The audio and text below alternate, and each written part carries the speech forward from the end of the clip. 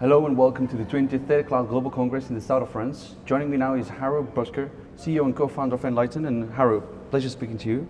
Nice. Um, yes. We were just talking about how much this conference has grown. How many data clouds have you been to? Uh, yeah, several. Uh, the last years in nLighten, uh, the, um, three or four, uh, but before that as well. Yeah. Yeah, But yeah. And this one is a real nice one. It's uh, very, uh, very busy. Uh, everybody's here basically, so very nice. It's definitely grown. It's four and a half thousand people. Yeah, yeah. Um, wow. It certainly has grown a lot in the last 20 Wow, years. wow, yeah. Uh, but what's also grown a lot is our market. So the Mm-hmm. data center space has grown tremendously, especially in the last six months.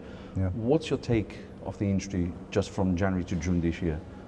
Well, it's an interesting time we are living in. Um, there is a new there's a new wave of AI, uh, but the, the, the, the ongoing waves with digitalization, the cloud, is still going on as well. And there's also still a very thriving retail market, uh, enterprises uh, going to data centers.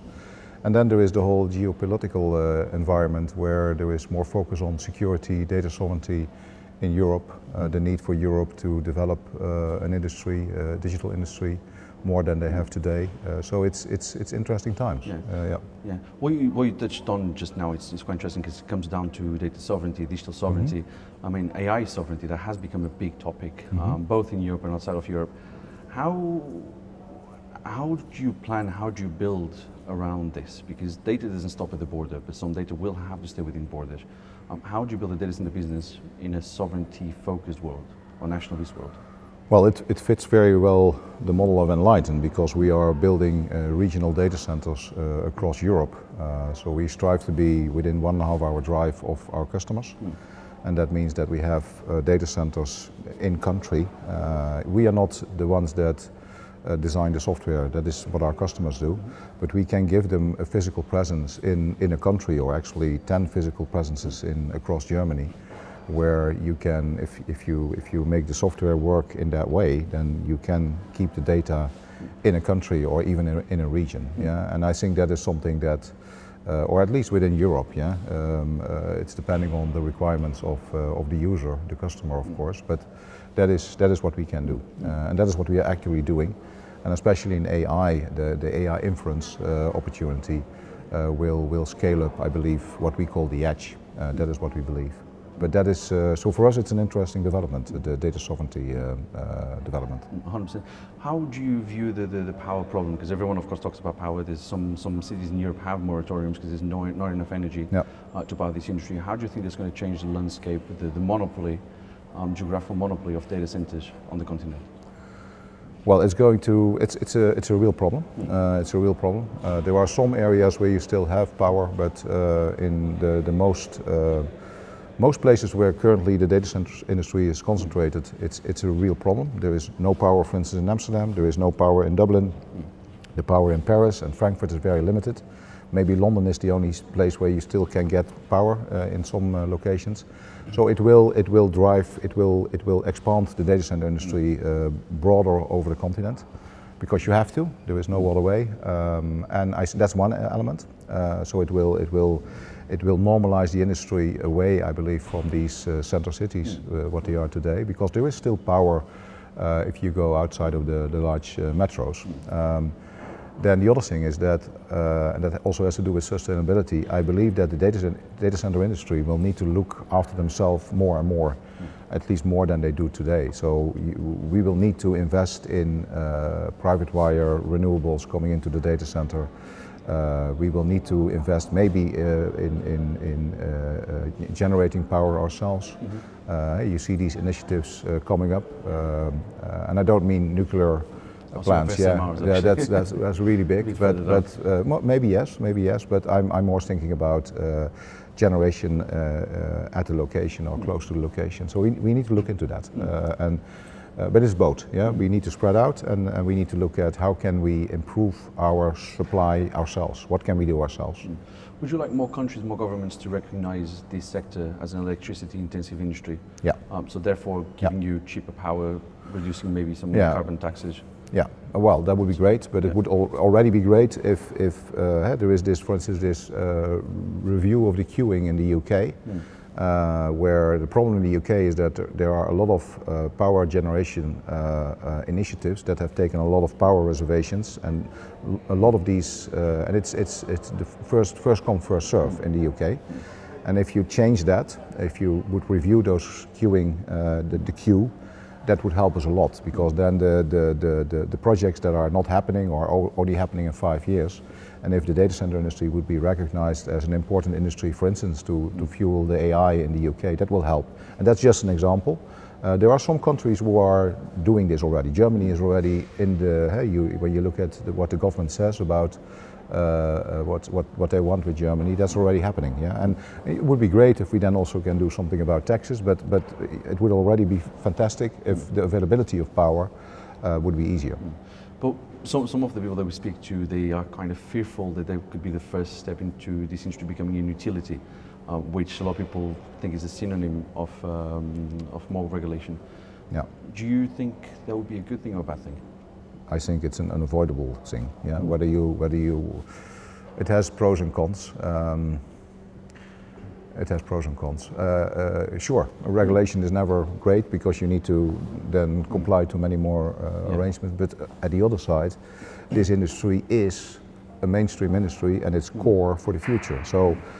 I think it's unavoidable, yeah, and we need to. I think we need to be uh, adaptive to, to, to those needs, as long as we get something in return.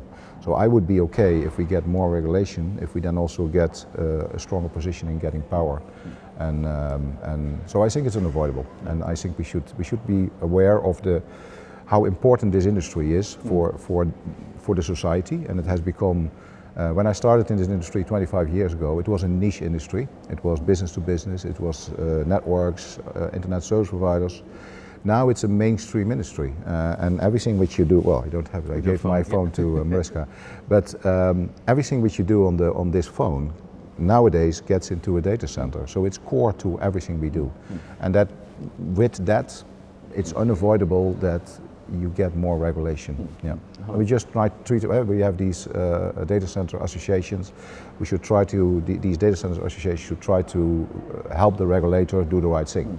But we will get more regulation. Yeah. Yeah. More volume. Yeah. I- I- it is definitely coming anyway at some point. It's coming in the next anyway. Five to ten yeah, years. yeah. That's why these associations are so important. That we have, we have the European Association, uh, where we try to get uh, sustainability uh, in in a way that that really helps. That is the right thing, and. Um, and, and that's very important that we get the regulations in a way that it that it actually helps and creates more sustainability in our data center industry, Okay. and of course also the, the national uh, associations. Okay.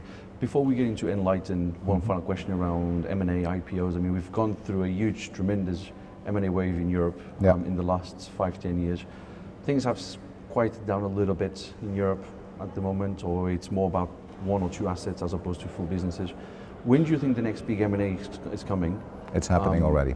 Oh, you think it's already started? Yeah, it's already started. Yeah, it's happening again, and um, uh, I think everybody's now a little bit. When you look at what Microsoft did, for instance, uh, the, the two gigawatt that they withdrew from the from the market from their demand, I think it's it's partly geopolitical, uh, uh, what- what's happening in the world, but it's also um, I think it's also the AI. What what's going to so if you if you're building a hyperscale data center today and you do that on the basis of 10 kilowatts uh, per rack uh, air cooled, um, we don't know whether that type of business is still required in five or 10 years' time in the current spec. It could be that most of that will, will convert into a demand for 130 kilowatt uh, uh, liquid cooled racks. And that is a very different uh, infrastructure. That is, that is um, that has an effect of roughly 60% of the capex will need to be reinvested to, to convert from that 10 kilowatts to uh, 130 kilowatts. And I, I think that's, that's a certain uncertainty in the market at this moment that also have driven the, the M&A activity a little bit down. Um, but, but everybody sees that it's coming, that it's uh, maybe it's the end of 26, maybe it's 27, maybe it's 28. But we need to get ready for that, and uh, uh, that will that will that on itself will will drive M&A again. And I'm, I see see that happening again. We have this moment the most busy M&A uh, pipeline ever, actually. yeah. It's going to be ex- exit season very soon, I guess. Yes. it's very exciting. Yeah. Um, what about IPOs? Do you think there's going to become another stronger way of raising capital in this space, especially for European companies? Uh, not on the short term. Yeah. And the reason for that is that the, the, the valuations are so so high in the private uh, sphere that there is not a lot of there is not a strong incentive to go IPO. Yeah. There is enough capital. Uh, there is enough capital uh, at, at relatively high valuations in a, in a, in the in the non-market, uh, the outside, uh, the private mm. private transactions. So as long as that is the case, uh, I do believe that ultimately, uh, uh, this market is scaling up, mm. that ultimately we will get into IPOs yeah. again, yeah. Yeah, yeah. But it might be a couple of years away. Okay. And talking about nLighten, so you're backed by One Square Capital, yeah. I Square Capital, so not One Square. I Square Capital, you've got data centers, or you're building data centers in the UK, France, Germany, Switzerland, um, France, Belgium, Netherlands, Spain. We're all over Europe, and Spain, sorry, I forgot Spain, I forgot Iberia. Um, I hope the power outage didn't affect anything down there. No, we were we, we, we, we, lived through that. Yeah, the generators uh, uh, hold. We were very proud of that. Everything was fine. Yeah. yeah. I didn't hear any single data center, yours or any competitor, that has actually gone down. So it's a good thing That's good uh, for the day. Yeah. Um, but give us an update on what you already have built and expansion plans at the existing sites, and then we'll talk about future expansions. But what's the current development pipeline? Um, well, the, the current focus is to, so we've done a, a first wave of uh, uh, acquisitions and investments. We are investing in these sites. We're bringing all the sites that we have acquired. We've acquired 34 sites.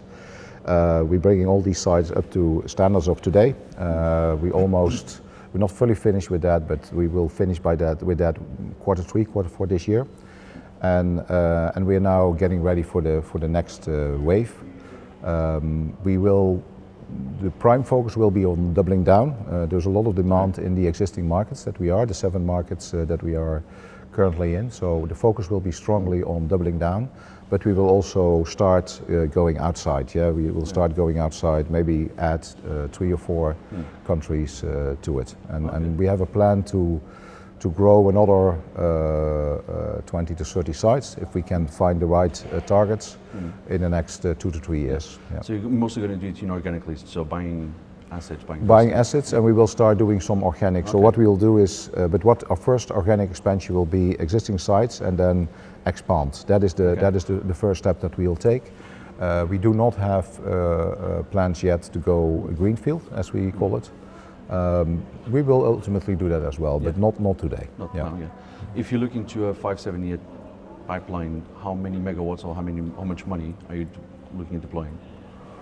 Uh, well, we, we, we want to get to uh, our ultimate ambition is uh, 100 sites with an average of uh, three to five megawatts, uh, and it's it's depending on the market demands. It might go up a little bit. Mm -hmm. Yeah. So this moment we're looking at three to five. Yeah. It might be five to eight, uh, but that is that is our ultimate ambition, and that is towards, let's say, 28, 29. Yeah. Uh, but it depends a little bit on how fast the industry develops. So yeah. AI is a, is, a, is a question mark. Mm.